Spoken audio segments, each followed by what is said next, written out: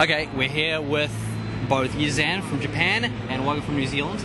A fantastic match was just played. It was a very, very exciting match, a very, very fast match as well. Now, the Japanese player, obviously, you held a lot of uh, a lot of aggressive moves right from the scratch. You uh, definitely held control. Yeah. Yeah, What can I say? definitely. Yeah. Two rounds. Two, yeah, two rounds. Two rounds to Wugga's name. He fought back. He did well. Yeah, what, do- what do you reckon? Did he do well? Now, how, how was it? Was it a challenge at all? Yeah, yeah, yeah. No, it's very good.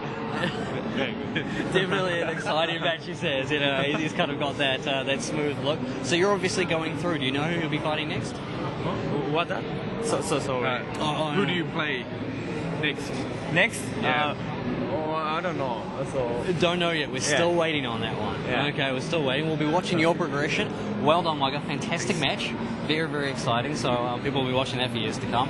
Alrighty. I'll, I'll watch it. Yeah, you'll watch it. Yeah, yeah, the replays to get uh, get the moves down for next time round. I'm sure you'll be fighting each other again at some point. Alrighty, fantastic. Thanks again. Congratulations. Yeah. Good Thank luck for the much. future. Yeah. Alrighty. Thank you.